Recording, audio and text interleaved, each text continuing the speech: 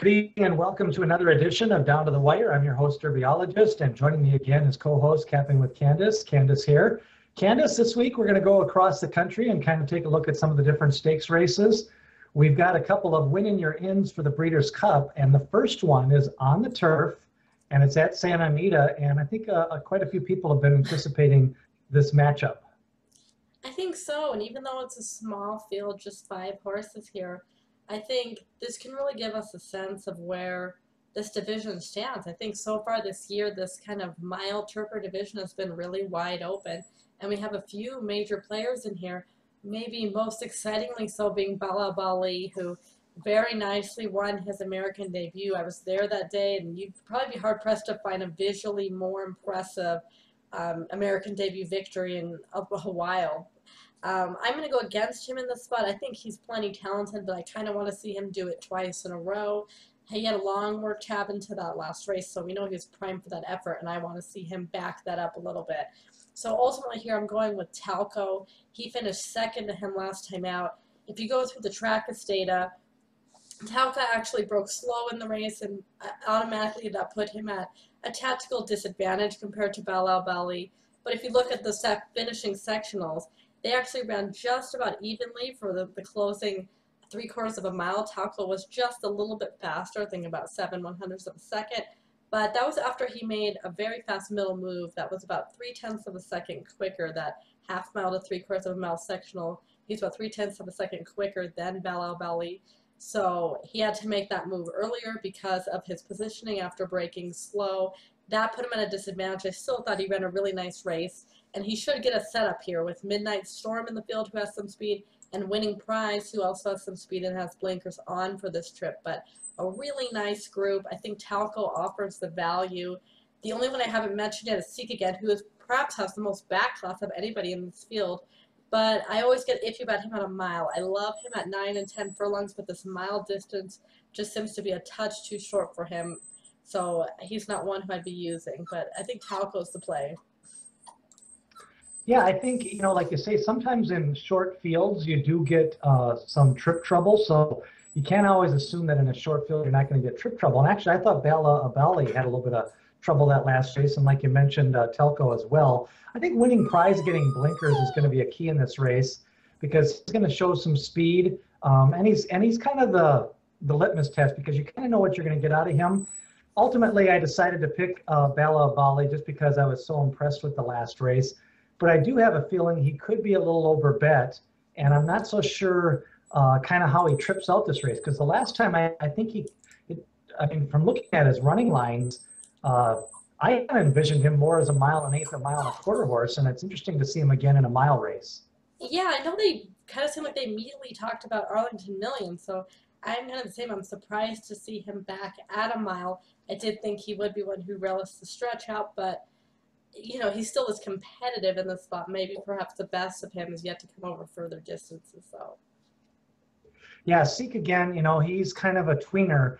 He's he's not really a sharp miler, yet he has a hard time going 10 furlongs, and and he kind of just has a way of getting into some trouble trips as well. So maybe if somebody can, you know, and of course then the speed here that's kind of moving up in class, Midnight Storm, a lot of people were visually impressed with his last race. Yeah, I think as far as Seek again goes, like you said, he's kind of in between. I think his best distances are between the Breeders' Cup mile and Breeders' Cup turf distance, and that's where it gets a little tricky with him, and you have to put him on the cutback a lot.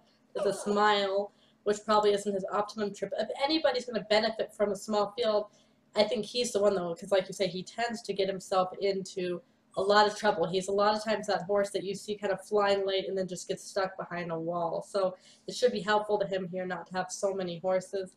Um, Midnight Storm, like you said, was very impressive last out on the lead. I just think he's had a little bit more pace pressure last time than he had to have then.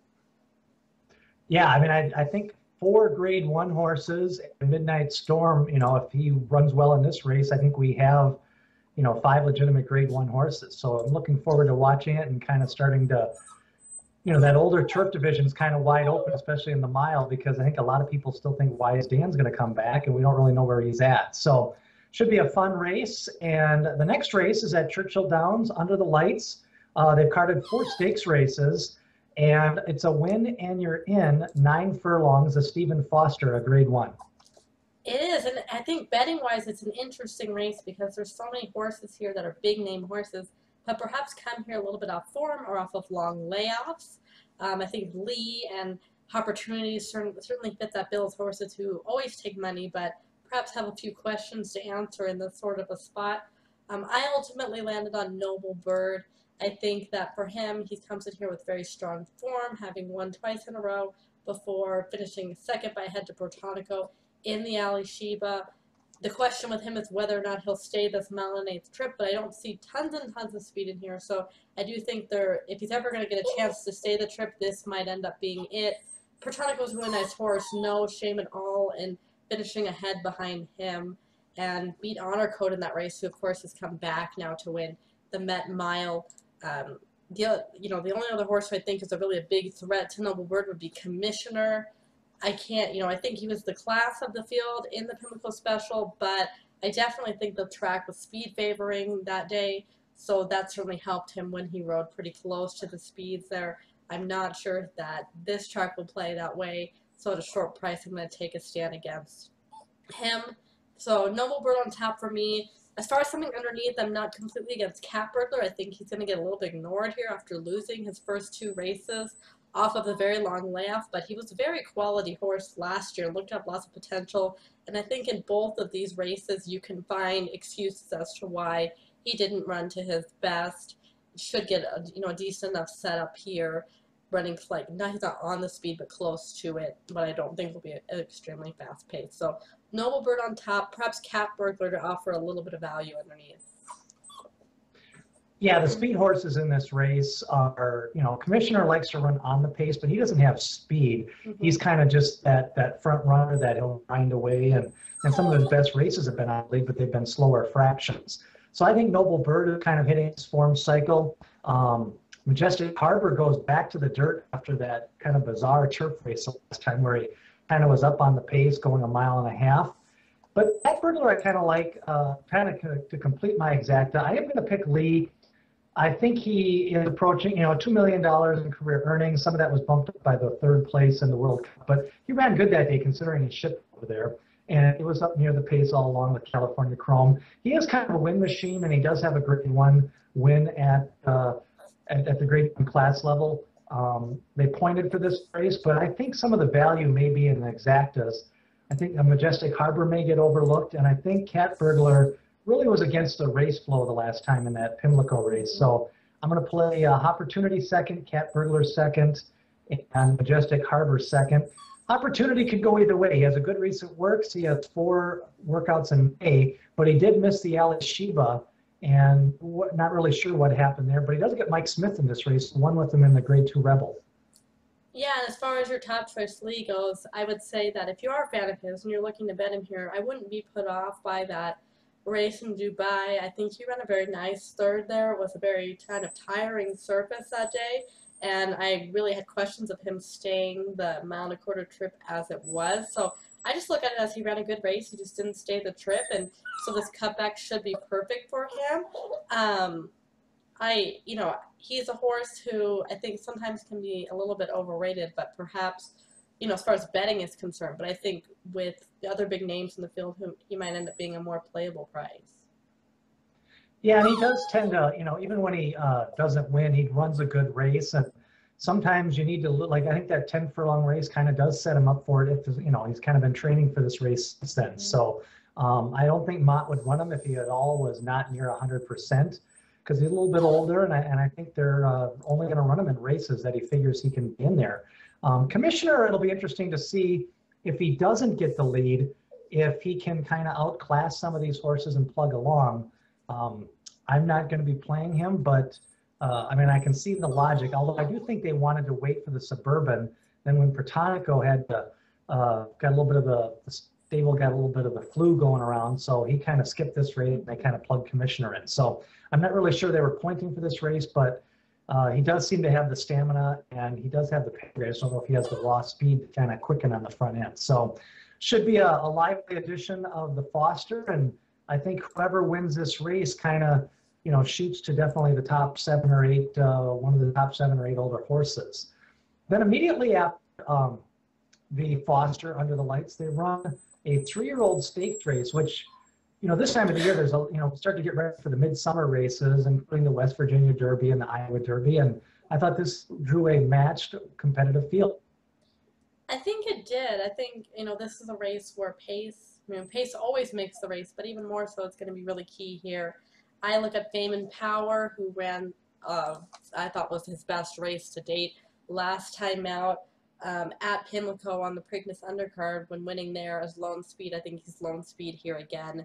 I look for him to, you know, really get the setup and take advantage of it. I think he's an improving horse and he seems like this, you know, distance isn't too far for him. And, you know, so long as I think he's untouched out front, he's one who seems to have the ability to relax on the lead, which is always a dangerous weapon.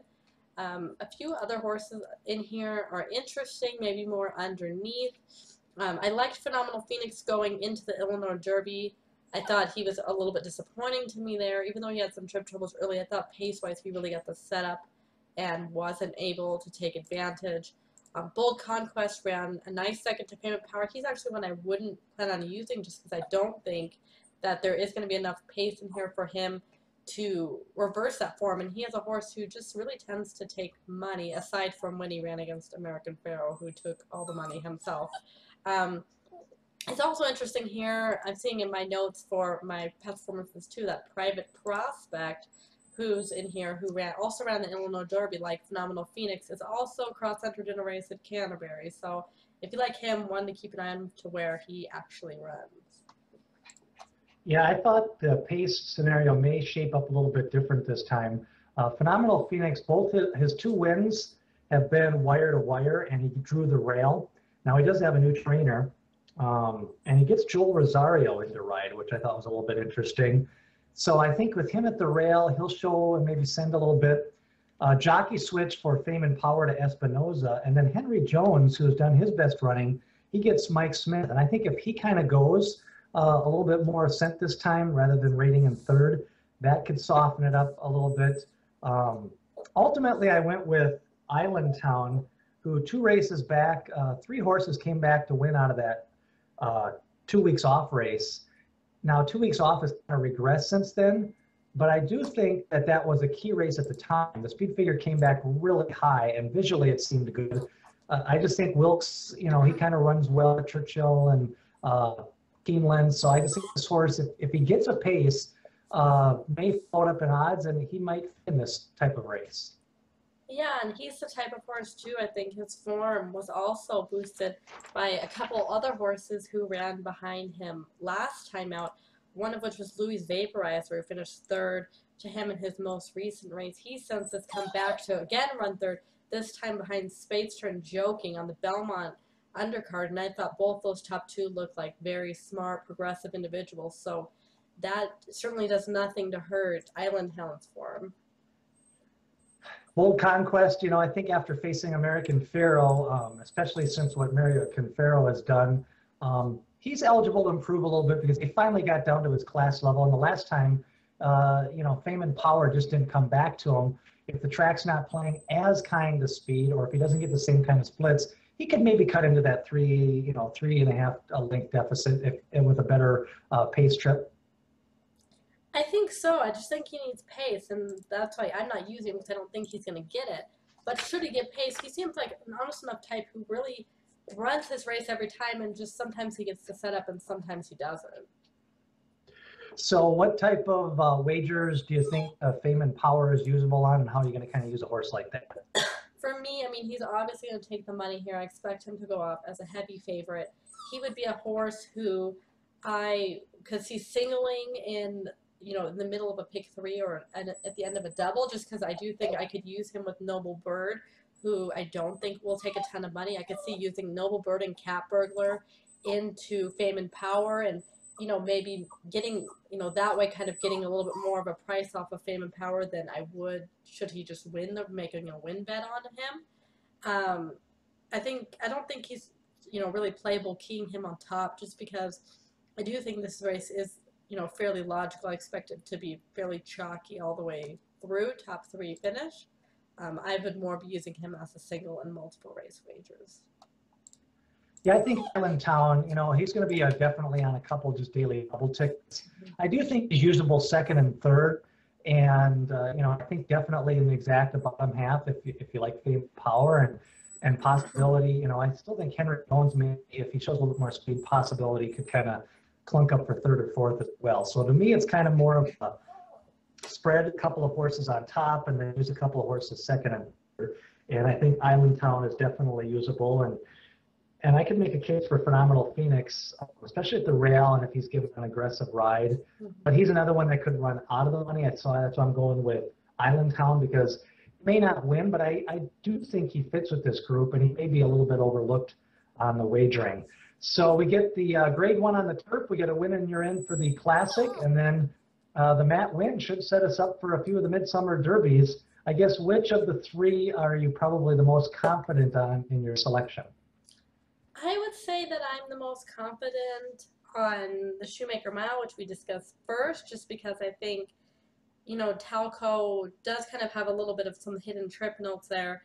And even if he doesn't win, I expect him to go very close. He is a horse who doesn't seem to throw in a lot of clunkers and a horse who I think even last year we saw was really coming around to being at this sort of a level. So I think a big performance from him has kind of been a long time coming. I guess of three for me, I'm probably the most confident in Lea. And I just think Island Town's kind of one of those horses you can sneakily put him in second, third, fourth, and you know run a couple of daily double tickets and just see if the price is right.